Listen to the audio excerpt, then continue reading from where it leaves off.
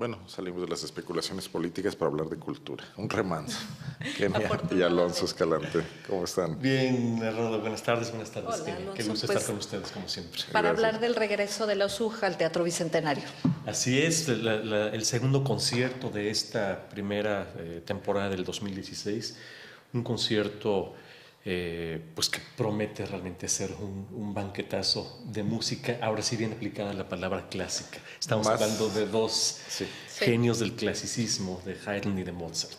Te iba a decir, más después de las dos presentaciones anteriores de los SUB, que fueron espléndidas, pues ya la conjunción de las obras y una orquesta que ha mostrado una gran calidad en, estas, en estos meses, nos garantiza eso que dices, un banquete. Así es, con dos obras que me, parece son emblemáticas de, justamente del periodo del estilo clásico, eh, con dos de los más grandes exponentes. La primera obra que estaremos presentando, la eh, Sinfonía número 96, llamada El Milagro, del, padre de la sinfonía, que fue Joseph Haydn.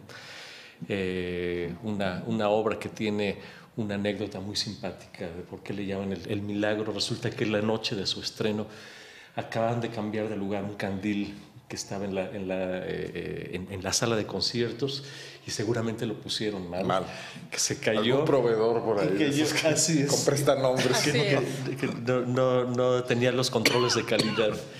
Eh, adecuados, total que se cayó este candil justo en una zona donde no había, eh, este, no, habían comprado boletos y lo cual, para lo cual el público inmediatamente empezó a gritar milagro, milagro, y de allí recibió el nombre de, milagro. Mientras se ejecutaba esta sinfonía. Eh, no sé si fue durante su ejecución o en, el concierto, eso no está consignado, pero digamos es una anécdota finalmente que, que eh, no deja de ser una, una, nota de color para una obra eh, realmente eh, representativa del discurso sinfónica de, sinfónico de Haydn, un discurso en, el cual él fue muy eficiente tratando de buscar la proximidad del, público a una forma musical todavía muy nueva, que era la sinfonía. Es un Haydn ya más bien maduro, ¿verdad? Ya, es un tardío. maduro, así es. Ya, ya para entonces había compuesto más de 90 eh, sinfonías y estas las compone justamente, es la primera que compone en su primera estadía en Londres, en donde compuso ocho sinfonías y, que se les conoce más con ese nombre de las eh, eh, sinfonías de Londres. Y bueno, pues... Con eso abrimos boca. Con eso abrimos boca, una, una, obra maravillosa. 20 minutos aproximadamente. Aproximadamente dura, dura eso, 20 minutos, sí. El primer tiempo corto el primer tiempo corto para dar después paso a, la celebérrima eh, obra El Requiem de Wolfgang Amadeus Mozart, eh, obra que estaremos presentando, sin embargo, en una versión poco oída en México. Normalmente la que se conoce es la que eh, completó, sabemos que Mozart muere componiendo el Requiem de Mozart, eh, eh, estaba eh, escribiéndolo, ya, así es, en in extremis, estaba ya en el lecho de muerte, y alcanza todavía a él a escribir Lacrimosa, una de las partes más bellas de esta obra, y, después comienza definitivamente a dictarle a su discípulo y copista a la sazón, Susmaya, y, y después definitivamente prácticamente le da algunos apuntes, algunas instrucciones de cómo debe de proseguir lo siguiente y, él acaba escribiendo la, orquestación y números completos de, este, de esta obra.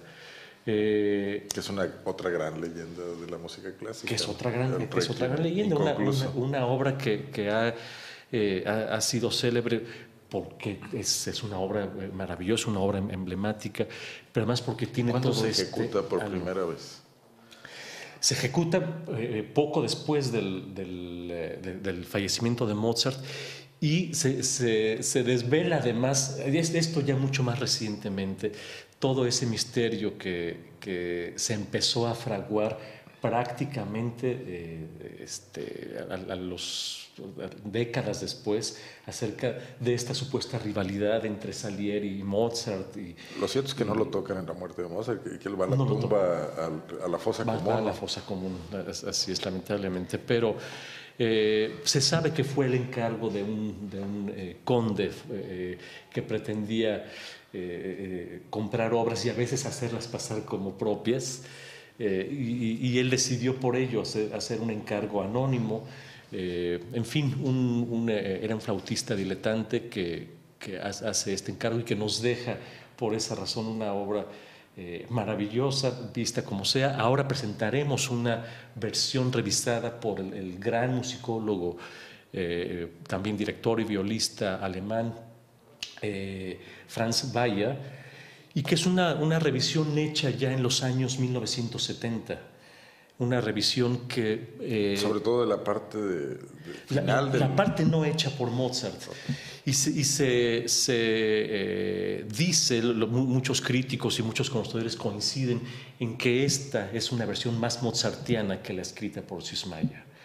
Una, revisión. Una revisión que además ha, tenido como, como seguidores, como simpatizantes, ni más ni menos que al gran eh, director recientemente fallecido, Harnon Kurt, que, fue eh, realmente el gran, el gran director de las obras mozartianas, el gran estilista, y que dejó algunas grabaciones de esta versión que resultan ahora referenciales, emblemáticas. Háblanos del director, precisamente que viene ahora. El, director, el maestro eh, Jorge Mester, es un director poco conocido en México, eh, sobre todo en, el gran público. Es un director que ha desarrollado una carrera, sobre todo a nivel internacional, mucho en Estados Unidos, ha estado a cargo de, importantes festivales, en, en Europa eh, dirigiendo también orquestas y, festivales importantes en casas tales como, como la Ópera de Sydney, como el, Royal Opera House, como la, eh, New York City Opera.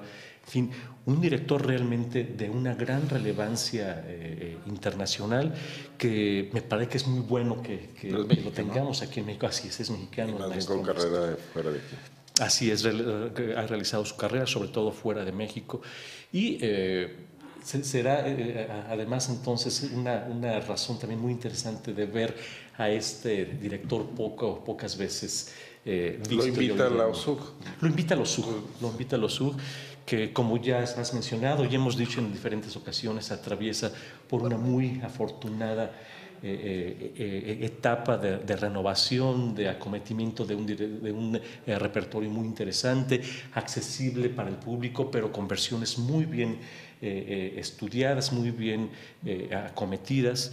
Y bueno, con, a, ellos se suman además un, cuarteto de solistas mexicanos jóvenes, todos ellos, Marcela Chacón, soprano, la mezzo soprano leonesa Melissa Reuter, poseedora de una bellísima, bellísima voz de mezzo soprano, Orlando Pineda, tenor, y José Luis Reynoso, bajo. Y el coro. Con ellos participa además nuestro querido coro del Teatro del Bicentenario, eh, que bueno, pues está trabajando a todo vapor para preparar esta obra. Pero muy celebrable la confluencia de la OSUG con el coro del Bicentenario en León. Te digo, teniendo un coro aquí y a 50 kilómetros una orquesta, qué bueno que empiece a haber este tipo de colaboraciones, ¿no, Alonso? Sin duda, es, es, es para nosotros un gran gusto, un, honor, un, honor y, y, una, una fortuna, si lo vemos, el que podamos eh, tener estos proyectos conjuntos con una, una obra que es absolutamente este, deseada, memorable, eh, gozosa, en fin. Y presentada en temporada, ¿no? Eso, que, que, es, que, es, muy importante también. Eh, es, es, una obra que tal y como, como tuvo que ver el concierto que presentamos el domingo pasado, que fue un concierto verdaderamente... Que nos perdimos. Maravilloso, sí te lo perdiste, caray. Eh, un, concierto que nos dejó eh, en, estado de gracia a muchos cuando salimos flotando con, con, esta atmósfera que, a, la que se refiere también eh, esta, estas obras, especialmente el, Requiem de Mozart, una, una, obra que tocamos y que presentamos y, que programa de manera también muy puntual la OSUG. que, con, con, referencia a, estos días de la Semana Santa y que nos ayudan a entrar un poquito también en ese, en ese tono y en ese efeméride. ¿Una sola función? Un solo concierto aquí en León y al día siguiente, en viernes, por supuesto, tendrá lugar el concierto que tradicionalmente eh, presentan los En el en el teatro principal. Así Bueno, es. es el jueves a las 8 de la noche y los boletos desde 60 pesos. Pues es muy Así es. accesible para disfrutarlos. Nos, nos quedan eh, eh, pocos boletos, les decimos a nuestros amigos que se Apuren. apresuren.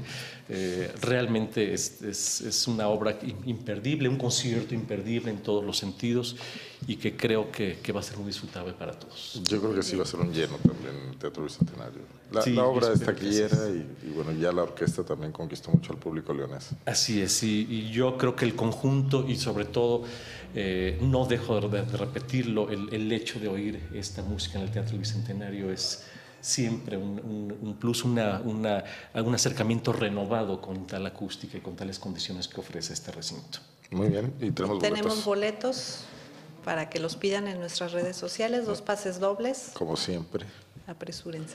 Muy bien. Alonso, y luego más cosas. ¿Ópera pronto?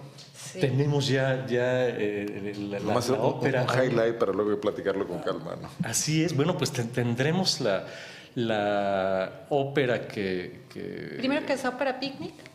Primero, primero tendremos ópera picnic a principio de- de- del mes de abril, finales de este mes de marzo, que como ya eh, lo, lo dice nuestro eslogan, una forma diferente de Sí. disfrutar de la ópera. Lo haremos con proyecciones en el jardín adyacente al Teatro Bicentenario, con estas noches tan bellas que nos ofrece la ciudad de León en la semana de Pascua y que eh, pues invitamos al público para que se acerque con sus viandas y que disfrute con su mantelito en el pasto para disfrutar estas óperas que quienes se las perdieron es una muy buena oportunidad para, para verlas por primera ocasión y para quienes ya las vieron, pues revisitarlas, disfrutarlas y, y- y revivir esos momentos de, de algunas de las producciones que ya tuvimos en el Teatro del Y Bicentenario. luego para la Cenicienta, pero ya. Y luego tendremos la Cenicienta con un, un, eh, elenco que, que eh, yo considero es casi como el Dream Team de, de Rossini, autor que hay que, eh, hay- al que hay que acercarse muy frecuentemente porque nos llena de muy buen humor,